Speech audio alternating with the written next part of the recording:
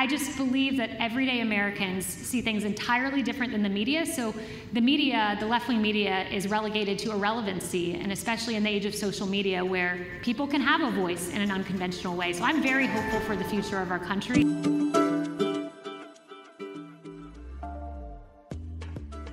Hi again, everybody. Welcome into another episode of the Narrative Podcast. Mike Andrews, Aaron Baer, David Mahan, and yes, friends, David does still work at CCV. He's still he is here. still part of our podcast. Love you guys. Exactly. We are grateful to have him back today. So stop all the fan mail to the Narrative email inbox. He is here today, ready to grace us with his presence. Still does exist around here, even though he's he, David. Uh, David's been off in the woods uh, getting a, a house ready and, and breaking his back. Like lit- I watched him walk into the office today. I said, "My back hurts just looking at you."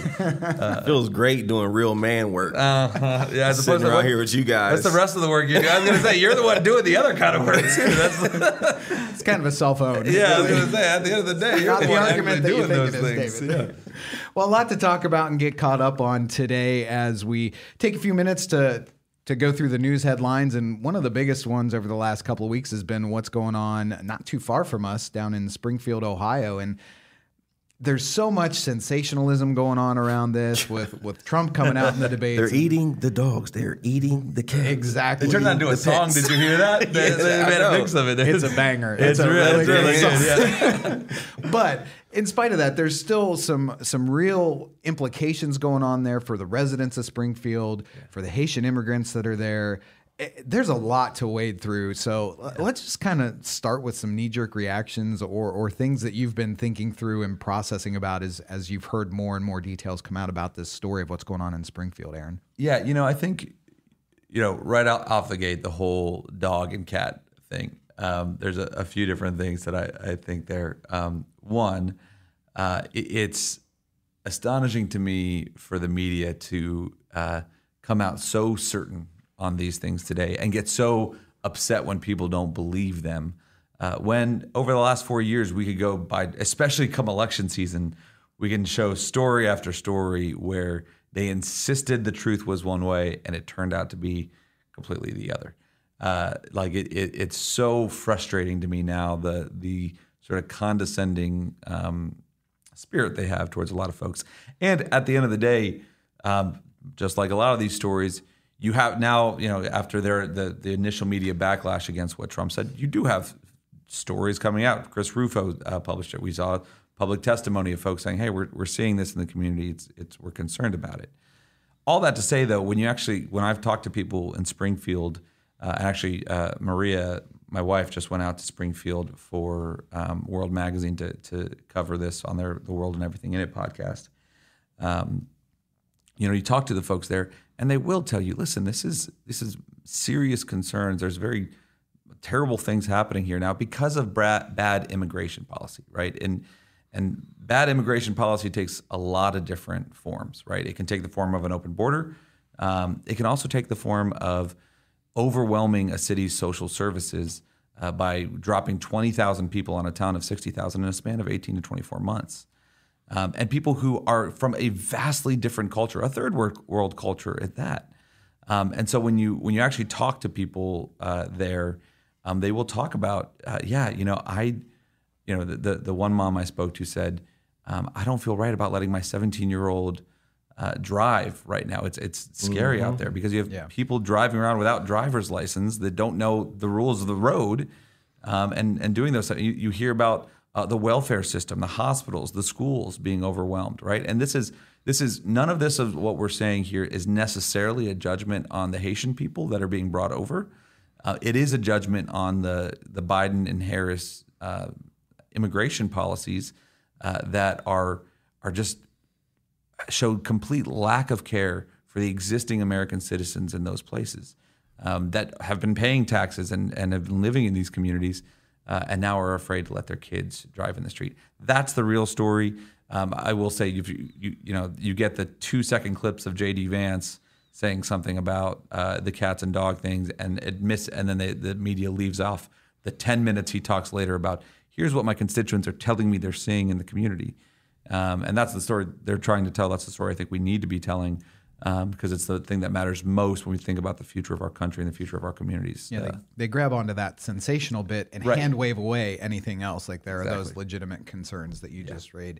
Raised, um, David. wh- What's been been your take as you've processed through what's going on in Springfield or what you've heard? I, I think that's a very balanced uh, way of putting it, Aaron. And, and I think that um, Trump could have probably did a better job. Uh, I'm just saying. we that, all right? agree that on the, the, the debate just generally. Okay, Trump could uh, have done a better job in that debate. Because I'm thinking about all the kids, the Haitian kids, right, who are caught in the middle of all this uh, in in schools today, um, who are getting the jokes and the bullying, and you know, um, that's that's I can't imagine, right? And I think sometimes as a party, as you know, just Christians, like we got to be careful um, that we don't get caught up in in the whole partisan back and forth. The media puts out um, so, you know something on on one side, and then we have to be way over on the other side, um, just as ridiculous, just as childish sometimes. Um, and then here you have real people in the middle, right? Um, and again, it, it just goes back to to my human shields thing, right? That um, the the media likes to use people as human shields, and then we just keep firing at the people, right? Um, and we got to be careful not to do that. Yeah, no, that's that's a good word. No, I, I, I, again, I think um, this is this is what brings it back to um, behind every public policy is people, right? So when you have uh, when you have policies and you have uh, uh, administrations enacting certain things, um, there is a there's a, a human cost to it on all sides, right? I, I mean, again, you hear about the stories of I talked to folks out there um, who are Springfield residents that talk about you have one or two bedroom apartments that have 15, 16, 17 people living in them, right? That's that, that again, that's where I would look at and say, this is not loving your neighbor. And these aren't refugees. These are people here over on, uh, on, on temporary visas, right? Um, like th- there's a whole host of issues that go around here. And that was, I, I did a conversation um, with Anna Staver at, at, on NPR earlier this week. Um, and she was she was asking about you know what's our what's the Christian nationalist perspective on this, and I said, well, take it easy. First, I'm a lobbyist. Now I got to be a Christian gotta be a nationalist. Christian nationalist and all that. Um, but but I said, you know, again, at, the end of the day, this is all a, a prudential conversation, um, and you look at the situation that uh, the policies that the Biden-Harris administration has has put us in, uh, and nobody is winning in this situation, right? Uh, least of which the kids, um, both the existing American citizen kids, which again, this is not a racial statement. This is not a nativist statement. This is just a we as a country have an obligation to care for our people first, right? That's that is what this is, right? Um, and the reason why all these people want to come to our country is because we do care for our people, right? And this is and, and the folks that are paying citizen, paying taxes, and the folks that are, you know, are, are invested in the in the communities. That that's a, a first obligation of our political leaders. And then when we start implementing these radical unthought through immigration policies. We put everyone at risk, not least of which are the people that we're bringing over, but also the, our, our existing American citizens. Yeah. Yeah. I couldn't agree more that it gets spun so much that just because we have criticisms of the process that resulted in this, that, that we're criticizing the people specifically. And it, it's actually a heart. Uh, a heart of Christ to, to want to love these people well and to welcome them into our communities and our states in a way that makes sense, that doesn't overwhelm the infrastructure Right, that- that's like, in place. like my best friend is Haitian, right? And it's like I'm just playing. That's right. you, have a, you have a best friend. Yeah, that- that- that's the first thing we knew he was lying. But again, but I mean, Mike, think about this in, in the inverse context. Think about dropping 20,000 Americans on a town of 60,000 in Haiti or a town of 60,000 in, you know, uh, I don't know, uh, Hungary or whatever, right? Um, you would have the, the, the systems would be massively overwhelmed. We wouldn't know the laws. We wouldn't know. This, this is just, it makes for bad policy. Springfield, forty thousand people. It's about something like 60,000. yeah. 60,000? Yeah. So, I mean, that's like 25% increase in Exactly. population. right. Well, How actually, do that's a third increase, but you're the comps director. Well, we don't expect you to know math. not- Ma- Mike math doesn't, is hard. Exactly. Mike doesn't balance the books. Two plus two books is are chicken. here. Exactly. Right. exactly. Uh, but but uh, again, th- th- this is and actually, I'm really excited. I'm, I'm, I'm bummed tonight that I, I can't be there tonight. Um, uh, our our friend of the show, Vivek Ramaswamy, is doing an event, and we're recording this on Thursday. This will get posted tomorrow. Um, but is doing an event in a town hall in uh, Springfield. Um, and of all people, like to go and do an event, like I love Vivek going because he'll have an honest conversation, Yeah. right? And and we'll engage with different thoughts. And um, I'm actually excited to see how that all goes because um, it is a it, it's this is maybe the perfect picture of of what bad uh, policy does. When speaking of some bad policies, uh, we're taking on a, a Yeah. company that's had some bad policies. This Yeah. was kind of a uh, surprise announcement this week as David shakes his head. The uh, nationwide "Not on Your Side" campaign Heck that yeah. CCV rolled out this week, and uh, I got to spend some time with with my friends at the Farm Science Review, going around and asking some questions about about nationwide and. Uh, Aaron, just explain what's what's behind this and why CCV is getting involved in this particular issue. Yeah, absolutely. And again, I, I would honestly say in this situation, much, much like the situation we have uh, in Springfield, it all comes back to public policy, right? Um, I think for a lot of folks, well, let me just give broader context first and foremost. I think we've all seen, actually, next week we're going to talk to Daniel Cameron uh, from the 1792 Exchange, former uh, Kentucky Attorney General, about all these companies that have been backing out of their DEI policies, uh, the Corporate Equality Index, uh, and companies like Tractor Supply, John Deere, Lowe's, Ford, uh, Coors Molson, um, Harley Davidson, co- companies that have very conservative and you know predominantly Christian customer bases, but are pushing very leftist, progressive policies. Right? Um, you've seen this sort of all these companies backing out, saying, "Hey, we're just going to stick to serving our customers." Well, Nationwide is much like all of those companies, right? Uh, they they came out of the Ohio Farm Bureau. Um, they have they position themselves very conservatively in certain parts of the state, but politically they are one of the most leftist, progressive org- uh, companies in the country. Um, so that's that's that's like the the baseline here. Let me tie this back to policy, though, very specifically on why we did this. Nationwide insurance is a stronger force for LGBT ideology in Ohio than Planned Parenthood and the ACLU combined. Um, and I know that sounds crazy to folks, but let's just be honest here. If we have supermajorities of Republicans in the state house in Ohio, we have all statewide office holders are Republicans in Ohio. If Planned Parenthood or the ACLU or Equality Ohio, if they book a meeting with a Republican, they're not going to get very far, right? They might take the meeting, but the conversation's not going to go very far. If Nationwide books the meeting, you better believe That's right. they're taking that meeting, right? If Nationwide books that meeting, they're coming in, they, they, they're going to hear it. So when Nationwide books a meeting and walks in and says, hey, we think you should support the bill that allows men in women's bathrooms. We think you should support the bill that would allow boys to play in girls' sports. We think, hey, by the way, these bills that you're working on to protect the privacy of kids, to protect unborn life, to protect religious freedom, Health of children. To protect the health of children. We th- think these things are bad for business. Um, those Republicans are going to be much more likely to listen to Nationwide. We think, by the way, uh, well, I'll let David say that share the thing about uh, the the hospitals here, but this is the the this is one of these things. As you know, the, the Christian Public Policy Group that's on Cap Square, we see things behind the scenes here that most folks would be shocked to know right? And I think for especially the farming community in Ohio, folks outside of 270, they see nationwide as the oh, aw shucks, Peyton Manning, uh, you know, good farming insurance company. They're the largest insurer of farmers.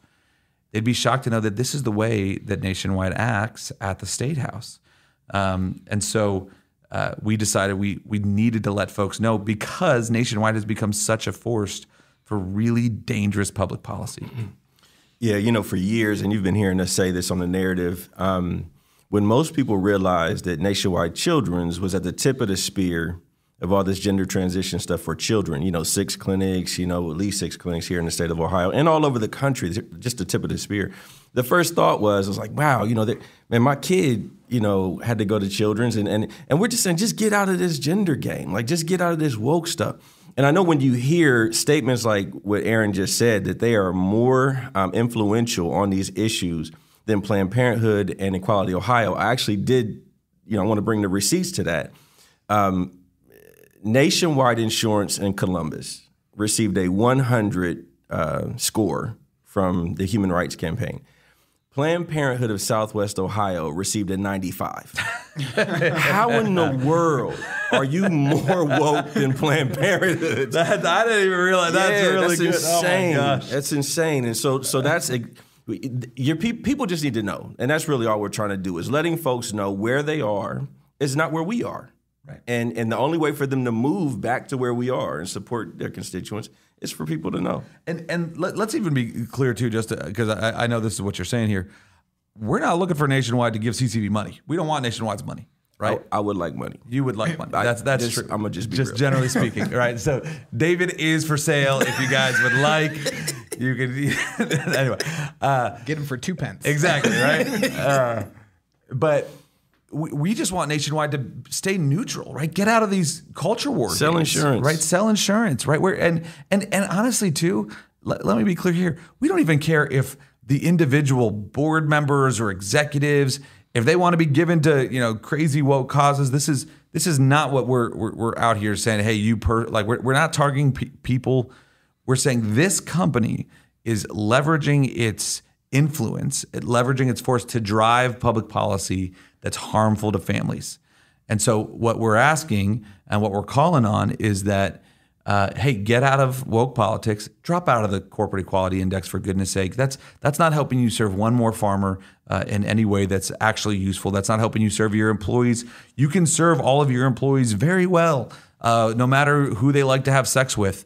Um, it doesn't matter. Uh, you can do all of that just fine, um, but without having to be driving these kind of crazy agendas. Sponsoring pride parades. Yeah, I mean, in oh, front of that's children. Like that's the. I mean, why in the world is Nationwide Insurance giving tens of thousands of dollars to Stonewall Columbus every year, an organization that hosts drag queen story hours, right? I mean, this is this is what they are investing in in the state. And so, uh, I mean, again, with the the man on the street interviews we did.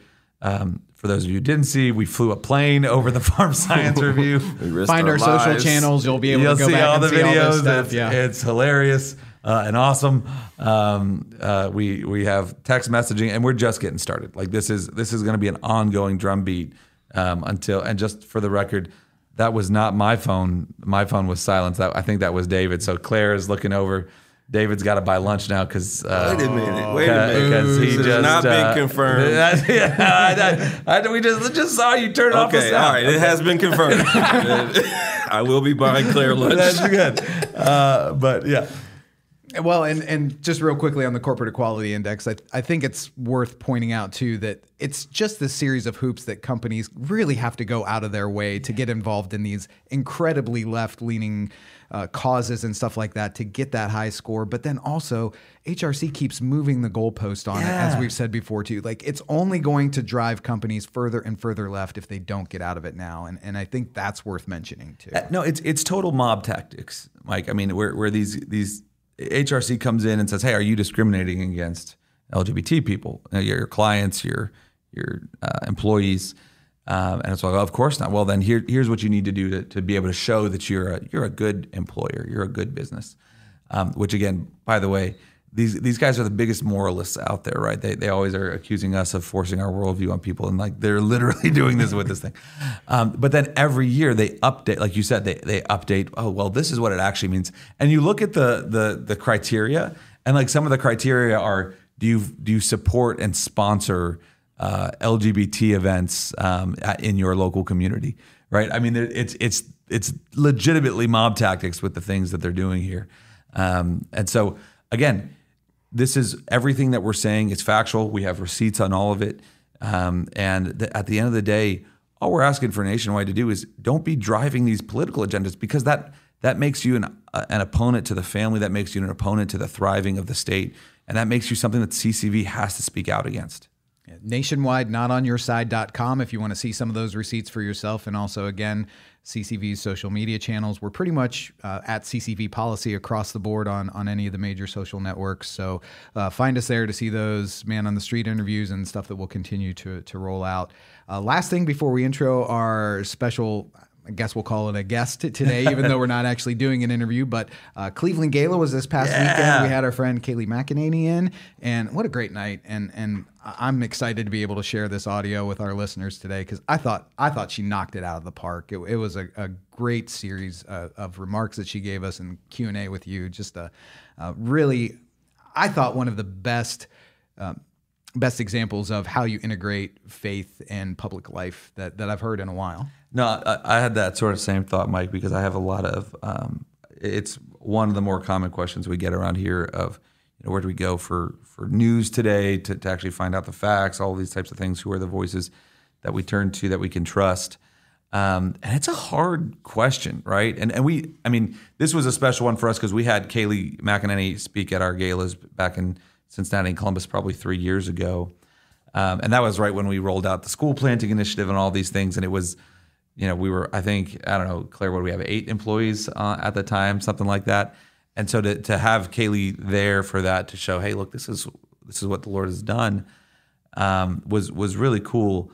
But to have to hear Kayleigh up there and to hear her heart, um, both for the Lord but also for our nation, um, was just such a stark reminder that there are some good people out there in the media today, um, really uh, trying to trying to expose uh, darkness, uh, trying to to be truthful in their reporting, uh, in their in their commentating, um, and was encouraging for me. Right, I, I think um, at the end of the day, um, you know, folks like uh, Kayleigh, you can very clearly tell that God has put them in this position for such a time as this.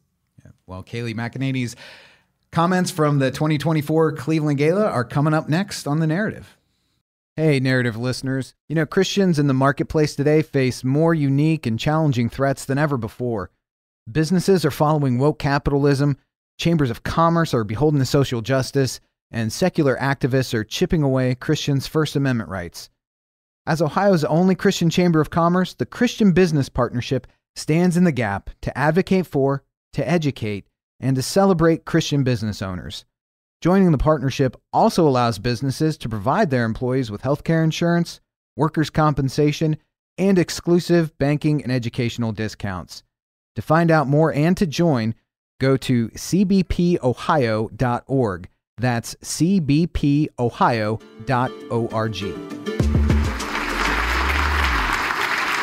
Wow, thank you. Thank you so much. What a kind introduction. I, I'm humbled and honored by it. And I guess we need to take that CNN line out of my bio, although I was the conservative on CNN as a, a little disclaimer there. But what an honor to be back at the Center for Christian Virtue. After I left the White House podium, the very first speech I ever did was at CCV with Aaron Baer.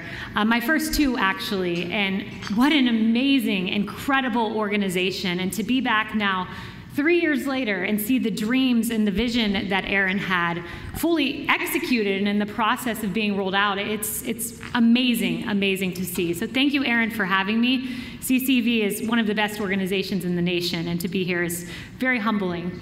But a little about me, um, for those of you who may not know, I'll tell you a little bit about my journey to the White House. You know, I'm Florida born and raised, it's, it's home to me. And at the time um, of working on the Trump campaign, I was in DC, so the swamp. So I'm, I'm in the swamp, and then all of a sudden, COVID 19 hits. And like that, everything locks down. But prior to that moment, I had been on the campaign trail, and you know we were going to New Hampshire and South Carolina and all of the places you would go in a Republican primary. And I'm going around the country with my little daughter. She was only a few months old. My mom was coming with me, and we were turning hotels into like makeshift baby nurseries and cleaning her clothes in the, in the little hotel bathtub and having a makeshift crib in the corner. And I'd go out to the Trump rally and I'd come back. And that's what we did for a few months. And then, as I mentioned, COVID hits, and I, I, go back to my home state of Florida, which, if you have to lock down, I will say being locked down in Florida was, was a great place to be. It's, it's a wonderful state. So I'm in Florida, and unbeknownst to me, a few weeks into being there, I get this call. And I had received a few calls from the White House before, and when your phone lights up, it's like an odd series of numbers, numbers you hadn't seen before. And you can kind of tell this is a, a, weird number calling me, and it might be the White House switchboard. I'd received maybe two, three calls maximum at that moment in time, and I remember exactly where I was. I'm going over this bridge in Florida. My daughter is in the back seat with me, just a few months old. My mom's driving, and I say, Mom, I think the President of the United States might be calling me. I go, I got to take this. So I answer, and they say, This is the White House switchboard. We have President Trump here for you. Can you take his call? Well, of course I'm taking his call. So I take this pink pacifier, I put it to my daughter's lips, I answer the phone, I don't know why he's calling me, pray for the best, and he said, I have a question for you. And I said, What's that? And he said, Would you like to be my White House press secretary? It was quite a question, and I said, without hesitation, that would be the honor of my lifetime. And he said something like, Mark, get it done. And I think he meant Mark Meadows, the chief of staff, go get it done. And Mark Meadows indeed got it done. And I set out on this journey a few weeks later to go back to DC to take this enormous job. It was very surreal. I had been a White House intern in the Bush administration, and I'd remembered standing in the back of the press briefing room watching Dana Perino give a press briefing, never thinking I'd be called to do that very job just about 10 years or so later. So I, am really humbled by this opportunity, and my husband says, you know, we should drive up. So we decided to drive up uh, the Eastern Corridor. I didn't want to be caught on a plane. I thought if I was caught on a plane, the press would be like, the new press secretary endangering the life of the president during COVID. You know, they like to write those sensational headlines. So we decided to drive up in his truck, and we're driving up, and I'm thinking about how am I going to do this job? And I'm researching, I'm trying to find academic journal articles on how to be a good press secretary. There's like one that exists, and I read it. I'm calling past press secretaries, I'm calling people in the administration, I'm trying to figure this out. And then my dad texted me, Kayleigh, maybe you're here for such a time as this. And I believe if God wants you to hear a message, sometimes He will send it twice, and sometimes through two very different sources, because you can't get more different than my dad ideologically than CNN's Van Jones, who texted me a few weeks into the job, Kayleigh, maybe you're here for such a time as this. And I know it was something I was meant to hear. I know it's something that is not just meant for me, but for all of us in this room. So I take this job, and I wonder if I'll ever give a press briefing because it had been more than 400 days since any press secretary had given a briefing. I believe the last one was by Sarah Sanders, more than 400 days before I got there. So I wonder if he'll ask me to do a briefing. And then one day, it was a Wednesday, President Trump says, I want you to do a briefing. And I'm like, okay, I need to get a notebook together. I need some time. You know, the notebook was interesting. It became a subject of interest to reporters. In fact, they had a camera behind me and they would take pictures of my binder. And CNN literally had an article decoding the mysteries of Kayleigh McEnany's briefing binder. There was no mystery. The, the topics were like COVID, therapeutics, whatever the topics of the day were. Although we did think one day we would change those titles to you know, Jon Karl, Jim Acosta, give them each a tab so that they knew they were on notice. We, we didn't get to do that, and that was a regret. But Anyway, the president says this on Wednesday. I want you to do a briefing. Then he says it again on Thursday. And then Thursday afternoon, he says, do a briefing and do it before Monday. So that left Friday. So I had to go to the podium to do this briefing, and I put in all of the work. We would sit around in my office by this wood burning fireplace, and we would stay there till 9, 10 o'clock sometimes preparing for these briefings. But more important than the academic preparation was the spiritual preparation. I went home, I listened to a Joyce Meyer sermon about faith over fear. I tweeted out Philippians 4:13, I can do all things through Christ who strengthens me. I listen to Christian music, and then I go in for my first briefing on May 1st, 2020. And I'm sitting there in the office, and I'm getting texts throughout the day from people around the nation saying that they had been praying for me. And then I get a text from my predecessor, Sarah Sanders, and she sent me a list of advice. And her final piece of advice was this Most importantly, pray. Let God carry you through the tough times and give you strength when you don't have any wisdom. And she told me that she read her Jesus Calling devotional every time before she went to the podium. And that's something that I carried on as a tradition. We also prayed together as a team. It's the last thing we did before I went out there. But she sent me that day her Jesus Calling devotional from exactly two years prior.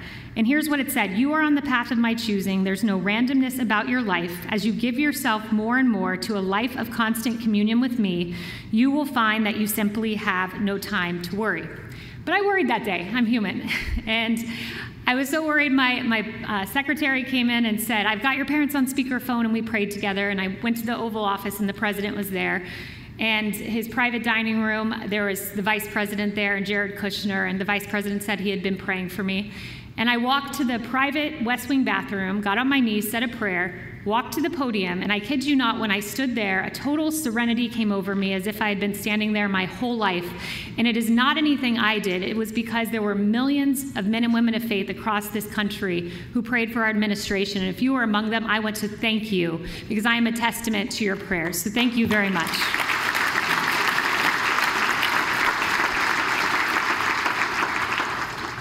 But I want to focus briefly before Aaron and I sit down and have a discussion on an issue that I know is near and dear to CCV's heart. We heard about the incredible work CCV does in the field of education and protecting our young women and the transgender issue, but I know CCV also cares very deeply about the issue of life. And when I think about my path to the podium, it's really the issue of life that got me there because, you know, my worldview, my dad used to, when I grew up, he would say, you know, what's your worldview? What's your worldview? I'm like, Dad, what's this worldview thing? I don't even know what you're saying. And then when I went over to Harvard and Georgetown, I, I, learned very quickly what a worldview was, and it was very different than mine at these universities. But politically, you know, I developed my views listening to Rush Limbaugh in my dad's truck. I, I loved listening to the late, great Rush Limbaugh. But more importantly than my political ideas were my faith. I grew up in a Southern Baptist church. I walked down the aisle.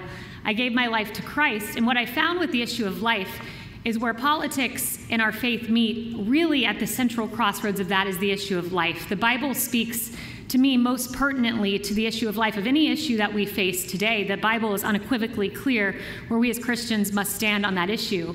And it was a, a great great feat when Roe v. Wade was overturned by Dobbs.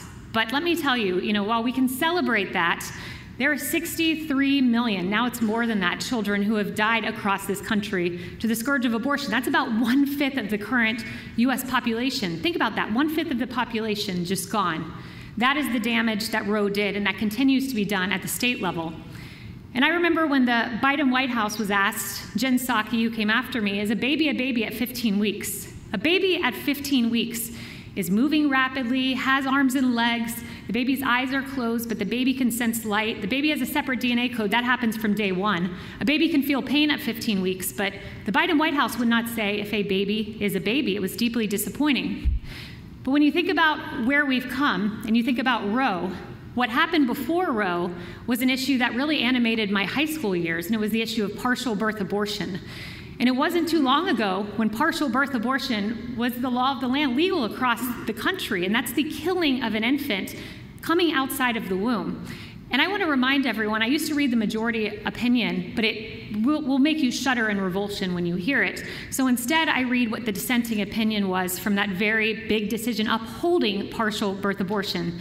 And it was the late Justice Scalia. Here's what he said I am optimistic enough to believe that one day Stenberg v. Carhart, that was the decision, will be assigned to its rightful place in the history of this court's jurisprudence beside Korematsu and Dred Scott. The method of killing a human, human child, one cannot even accurately say an entirely unborn human child, proscribed by this statute, statute is so horrible that the most clinical description of it evokes a shudder of revulsion. Think about what he's saying there. Our abortion laws in this country are like Korematsu, which upheld Japanese internment camps, and Dred Scott, which upheld slavery. That is where our abortion jurisprudence has been in this country. And it was very powerful when you listened to the oral arguments about, uh, in Dobbs. Justice Roberts, Chief Justice Roberts, said that, and I had to look this up. I had to fact check the Chief Justice because I couldn't believe it that our abortion laws are on the same plane as North Korea and China. And he's right. We are one of seven countries in the world, think about this, in the world that allows elective abortion after 20 weeks. One of seven, with North Korea and China. That's where we are as a country, and that's why we need moral leadership on this issue. When President Biden was asked about this issue, he said that he's a Catholic and his church no longer believes that anymore. I'm a Southern Baptist, but I went to Catholic school my whole life. My husband's Catholic. We switched back and forth between Catholic and I guess I go to a Pentecostal church now, so both.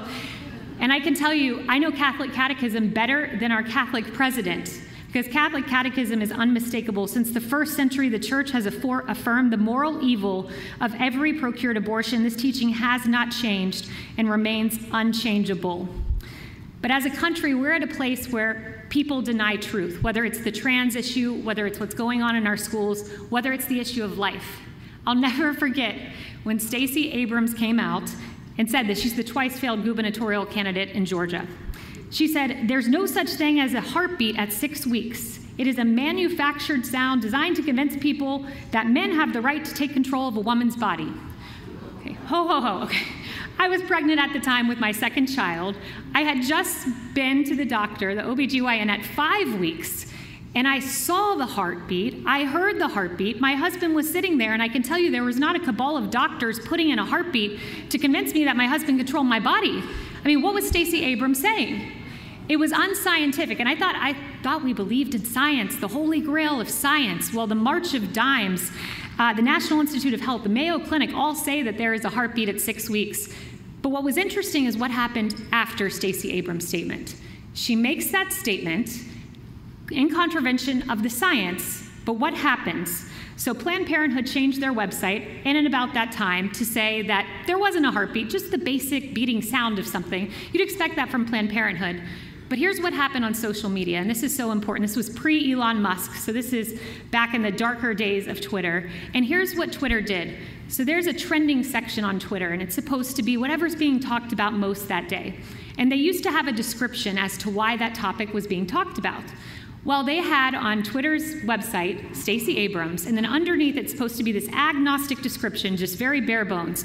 Here was the description as to why she was trending. GA gubernatorial candidate Stacey Abrams said there's no such thing as a fetal heartbeat at six weeks of pregnancy, and doctors agree one does not exist during this early stage of pregnancy. Reports from NBC News and NPR confirm. Do you see what's happened there? Social media mainstream media, and the scientific community all coming together to bury truth and to say that there is not a heartbeat. That is what we're up against. And look, the work has just begun on this issue. I know Roe has been overturned, and you here in Ohio know that very well. Aaron Baer, he is he's such a leader. We've kept in touch over the last three years, and you know I've had conversations with him on unfortunately what happened with Ohio Issue One. I know a lot of you in this room cared deeply and, and didn't want that to pass, but indeed it did. And these these abortion ballot initiatives initiatives are so tricky.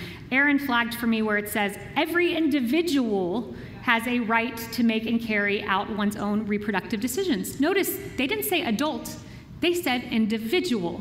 This opens the door to minors having abortions. And when you go further, Ohio Issue 1 said, but in no case may such an abortion be prohibited if, in the professional judgment of the pregnant patient's treating physician, physician it is necessary to protect the pregnant patient's life or health. That is abortion until birth, so long as you get a doctor to sign off on it. We're battling this down in Florida. We have our own uh, ballot initiative. It's called Amendment 4. Thankfully, the president came out and said he will be voting no on Amendment 4. President Trump said he will be voting no. Amendment 4 is exactly what you dealt with on Issue 1 but the victory we've had in Florida is that underneath that flowery, beautiful language will be a description as to exactly what this leads to taxpayer funded abortion. So we are hopeful that Florida may be the first state where the pro life movement wins. We will see, but it's an extremely, extremely important thing. You know, as I close here, I do want to say this. I think on the issue of life, we know it's a political hot potato. We know the left is using it in a way that's politi- politically powerful. But let me just suggest to you we should not back down from this issue, and CCV does not. And here's what we need to do in order to win on the issue of life. Number one, we cannot hide from the issue. We must embrace the issue and talk about the issue. And we've seen that here in Ohio. Governor DeWine passed a six week, six week heartbeat bill. He signed it into law and he went on to win re election. We saw this in Georgia with Governor Kemp. Same thing, six week heartbeat bill went on to win re election. We must talk about the issue and not hide from it. Number two, we must expose the extremity of the left. Did anyone watch the debate last week? I'm sure that you did. Linsey Davis, the moderator, her first fact check was to say that late term abortion does not happen and is not illegal in any and is illegal in every state in the country. Well, I just heard from your state senator that eight Democrats voted to not keep babies alive after birth. So I don't know if ABC needs a crash course on this, but maybe they should go to Tim Walz's Minnesota, where eight babies were left to die, and then he changed the reporting requirements so that that number is no longer reported. This is what we're up against a media that is willing to lie, and we must expose this extremity of the left. And I would love if there's another debate for President Trump to look at Kamala Harris and say, You're a big proponent of abortion. Can you tell me the week at which a baby feels pain? Do you think she could answer that question? No, she could not. We need to expose the extremity of the left. And then finally, and this is the most important point that I think oftentimes we miss. Final point we must make sure that we love the mother as much as the baby. We must make sure we love the mother as much as the baby. Marco Rubio, that's a guy who's on it, let me tell you. Two days after Dobbs came out, he put out a 12 point plan to help women have economic choice during pregnancy. Because look, the left, you're, you're the party of choice. Well, does a woman really have a choice if she doesn't feel she has the support and resources to care for the baby she loves? Because we know women love their babies, we know that. So let's give women economic choice, let's empower them. With a 12 point plan Marco Rubio put forward, all private sector solutions, not government programs, to help women afford life. That has to be the key tenet of our movement supporting the woman as much as we support the child.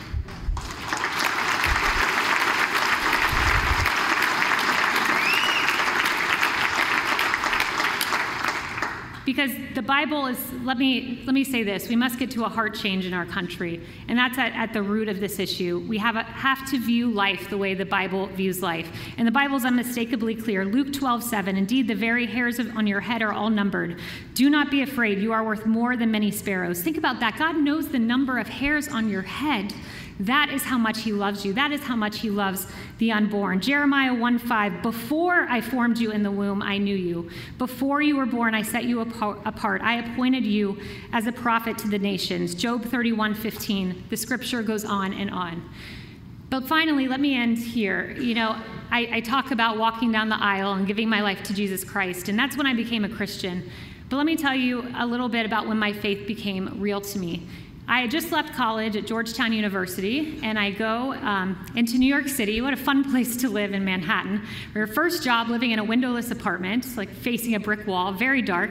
But I had a great job. I worked for Governor Huckabee, which is wild because looking back, you know, this is long before Trump was on the horizon. And Sarah Sanders was there, and I'm there, and we both went on to be press secretaries for the former president. But I'm in this job and I'm loving my job, but I was going through kind of a depressing time. My pastor at the time at the Journey Church said, you know, Manhattan is millions of people everywhere, but it can feel like a very lonely place, and that's definitely how I was feeling. And I was going at the time through a bad breakup, which in hindsight is laughable because I had the best husband ever, but at the time it felt huge. So I go back to my windowless apartment and I'm trying to call my mom, whoever will answer the phone. No one's answering. And my phone rings, and it's a number I don't know, and I'm like, I'm going to answer this. And I just before this this call came in, I said, God, if you're there, I need to hear from you. So I'm like, I'll answer this phone number. I don't care if it's a telemarketer. I'll talk to them. so I answer, but it wasn't a telemarketer. It was someone from the Journey Church saying, We feel like we need to pray for you. How can we pray for you? And let me tell you, it is a very cool and amazing thing to get a call from the President of the United States saying, Will you be my press secretary? But the greatest call I ever got in my life is a call from the risen Savior through one of his emissaries here on earth. It's a call I'll never forget. And I tell you that because I believe my life, you know, I'm in a, for such a time as this moment, we all are. And there are some people in this room, and I just want to acknowledge two of them that I believe are in just such a moment. One of them, and let me say this you have the best Solicitor General in the nation and Elliot Gaiser.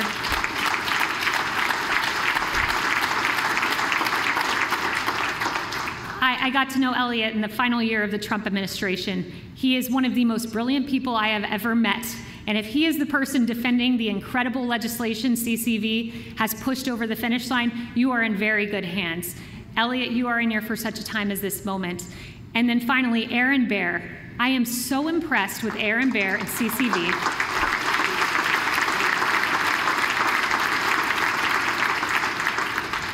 My mom came with me to the event I did, that very first speech I gave with Center for Christian Virtue. And she looked at me after and she goes, Kayleigh, I've said over and over again, I am so tired of everyone just complaining about how bad things are. For the first time in my life, I heard someone have answers. I saw someone doing something. I saw someone making a difference. That is who Aaron Baer is. That is what CCV has done. Uh, and it is an honor to be here. I am incredibly proud of the work you've done and even to just be a part of it in this small way. I'm humbled and honored. So thank you so much, Aaron, and I look forward to our conversation.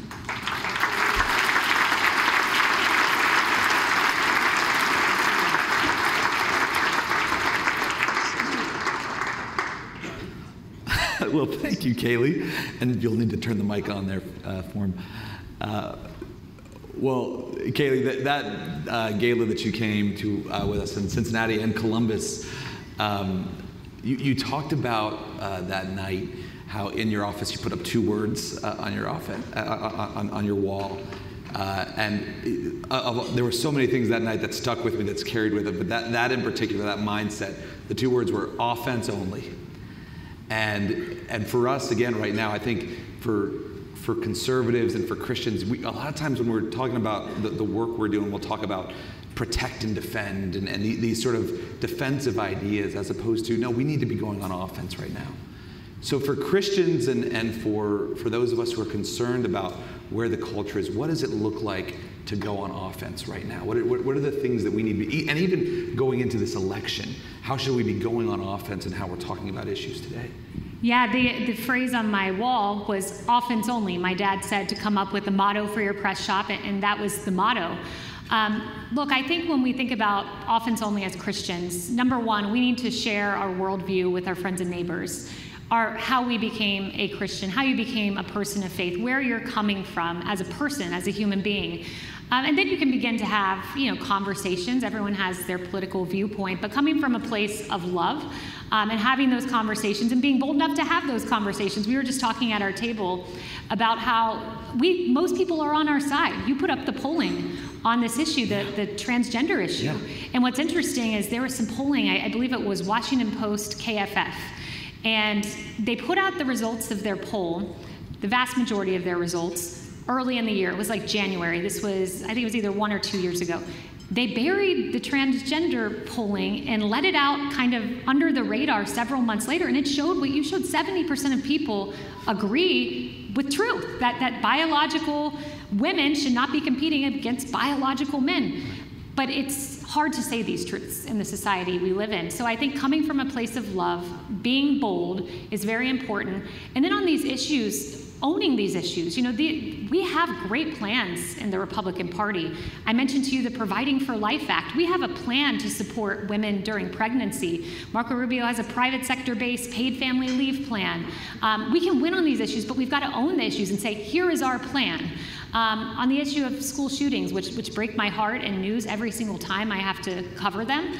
Another example is, of being on offense on these issues is the Safe Schools Act, which Marsha Blackburn has, which what the Safe Schools Act does is put security in our nation's schools. You know, we protect our diamonds at Tiffany's with armed guards. Why not our children? And on a debate stage, I'd love for Trump to look at Kamala and say, the nation doesn't know this, but you're against security in schools. You've said that. Will you call on your party today, in this moment, to pass the Safe Schools Act to protect our children like we protect our diamonds at Tiffany's? You know, owning issues with solutions is the answer.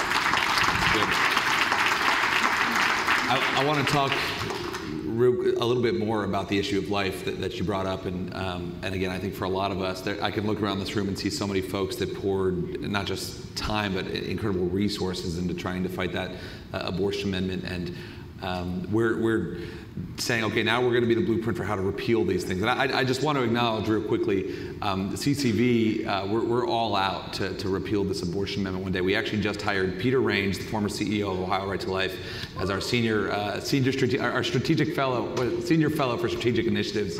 Uh, and Peter's going to be leading this effort for us to, to rebuild a culture here.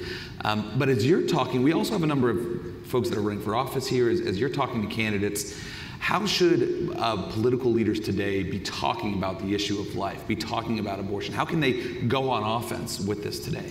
Yeah, it's a great question. And the sad reality is we've lost every single ballot initiative post Dobbs, yeah. every single one. Um, and unfortunately, that leads to taxpayer funded abortion because Planned Parenthood comes in with a class action lawsuit and they have these egregious policies that the vast majority of the nation does not support. You know, most most elected officials I find like to hide from the issue. I mean, I imagine the reporter going down the hall of Congress, and if it's a, day where life is the issue, they're, they're running the other way. We, we can't run from this issue, we need to own it. And There's a statue, and I wish we could put a picture of this statue in every single elected official's office that's on the Republican side of the aisle. It's a beautiful statue, and it's of a woman who has had an abortion, and she's holding Jesus' hand, and Jesus is holding her child, and she's looking down with shame and sadness, and he's holding her child and holding her hand. That is the image we need in our mind when we talk about these issues issues. And it occurred to me, you know, my it kind of went off in my mind that we don't talk about the issues from this place of love. When I was talking to Governor DeSantis, and he said in an interview I did with him, most women want to keep their baby. And I went and looked at the statistics, and you and I were talking about them. 70% of women feel coerced into having an abortion because they don't have the financial resources or the support. So if we approach this from a place of love, we know women want to keep their baby, and we want to give you a true choice to keep the baby that we know that you love. We know that you love that baby, and here's how we're giving you a choice. Take the other side's word and turn it around on them. And one component of this is the Unborn Child Support Act. We believe a baby is a baby from the moment of conception, so men should pay women child support from the moment of conception. We should own that. That should be our rallying cry. We should ask Kamala to get behind so that, that is how you approach it from a place of love. Um, we know women love their babies, and here's how we're going to support you to choose life. So you got uh, an inside glimpse of, of, of, who President Trump is, right? I think for a lot of us, we, we see the, the reality TV star and then the, the, the guy that you know, is, is, doing the big rallies and, and all of these types of things. But can you just talk a little bit about, one, the, the man you got to know serving in there, but also, two, you know, President Trump is a, a, a, New York commercial real estate billionaire, right? He, he's not coming, he, he, probably, not that I know of, had the experience in a Southern Baptist church of walking down the aisle to, to you know, that, that very, uh, that ex- powerful experience you had. So how did he especially relate to you and to others in the administration uh, that were strong Christians and that were called to prayer? What was that relationship like? Yeah, I had a very positive experience working for the president. Um, you know, I, I don't know if other presidents do this, but I can tell you what President Trump did when it came to personal time and family time. I remember I was um, on Air Force One with him, and just before that, we get on Marine One. So when you see the president walk across the, the blades of grass and they're blowing back, and the press is shouting questions at the president, you know, we walk onto Marine One, and I get on with him on a Saturday. We're going to a rally, and there's a few people on Marine One, and he looks at me and he goes, "Why are you here?" And I go, "Well, that's concerning from the guy who fires people."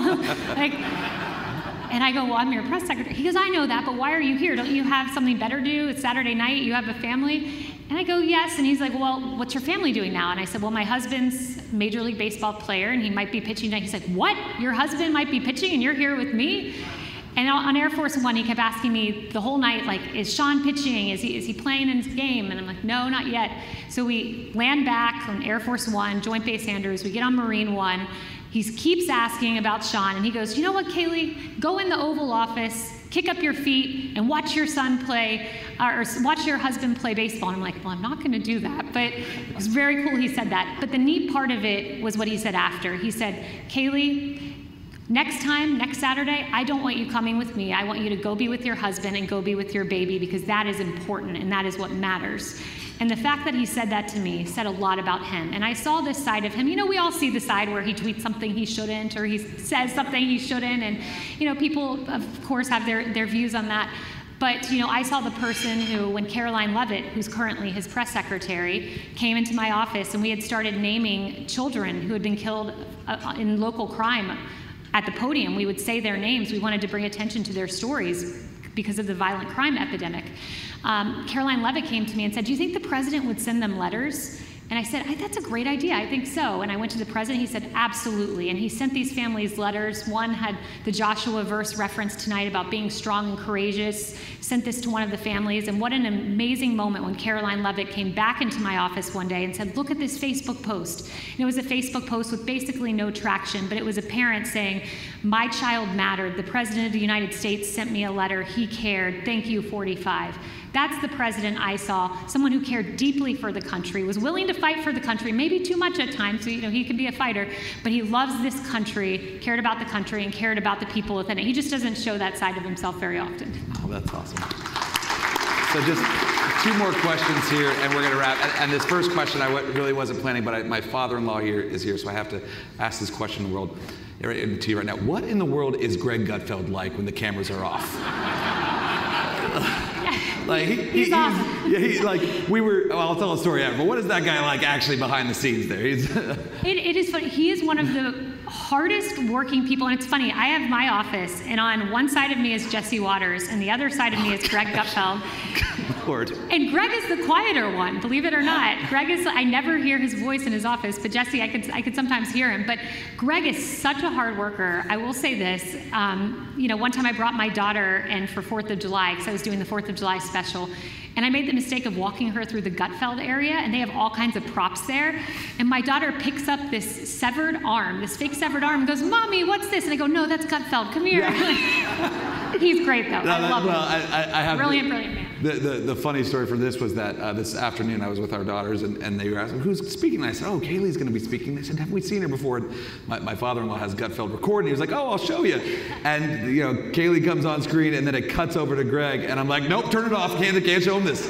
Um, but uh, he's, Smart move. Good exactly, exactly. He's a lot of fun. Uh, the, the last question I just want to ask, um, I think for a lot of us that watch that debate, um, we, we've, and, and this has been a, a narrative for the last 10 years, um, but we're, we're watching the media fall deeper and deeper down this pit. Even CNN. Um, the, the question is, is there any hope in redeeming what we're seeing in mainstream media today? And what should, I I know for a lot of us, we see what's happening in the media and it almost feels powerless of how to sort of restore uh, just some common sense in the conversations we're having nationally on these issues. How do we go about doing that today? I mean, it's, it's a, that is a huge question, and it's tough um, because notice the only time the media decided to report anything negative about the other side of the aisle was in the five weeks after the Trump debate with Joe Biden, where they had an end game, which was to move Biden aside and to and put Kamala in. So that's when you know their their true coverage came. All of a sudden, the leaks were everywhere from the Biden administration. Otherwise, you know, they have an agenda and they cover for the administration. It's sad to see. It's unfortunate to see the ABC debate was shameful. Uh, those were two individuals who were quite obviously partisan. They only chose to do fact checks on one side and not fact checks on the other, despite there being all sorts of statements made by Kamala Harris. It's frustrating to see. But here's what I know because during CNN, uh, my tenure there in 2016, there was something going on in the country, and the media could not stop it. You know, CNN tried its best with their eight on one panels, eight Democrats and this lone little conservative me on the, on the outside. There was something bigger going on in the country. There was a movement that was being made, and I, I think that might be happening right now. I, I watched the post-debate coverage, and the media was just apoplectic in their, you know, deriding of Trump and their praise of Kamala Harris.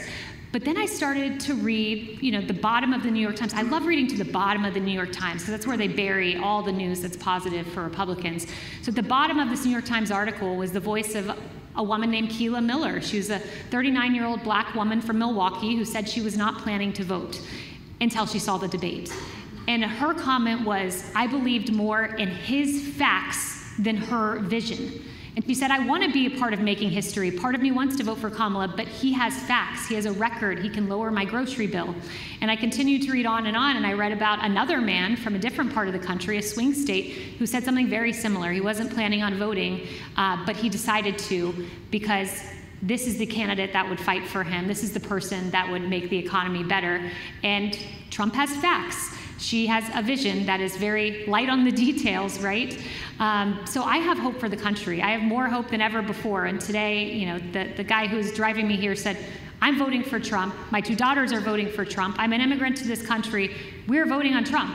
I, I just believe that everyday Americans see things entirely different than the media. So the media, the left wing media, is relegated to irrelevancy, and especially in the age of social media where people can have a voice in an unconventional way. So I'm very hopeful for the future of our country and pretty important 54 days coming up. That's right. Join me in thanking Kayleigh McEnany.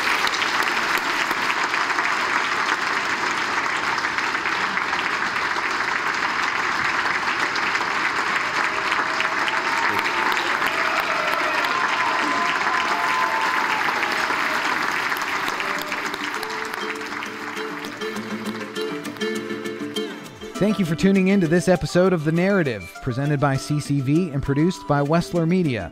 If you found today's episode insightful, leave us a review or rating and subscribe anywhere you get your podcasts. We're your hosts, Mike Andrews, Aaron Baer, and David Mahan, and we'll see you next time on The Narrative.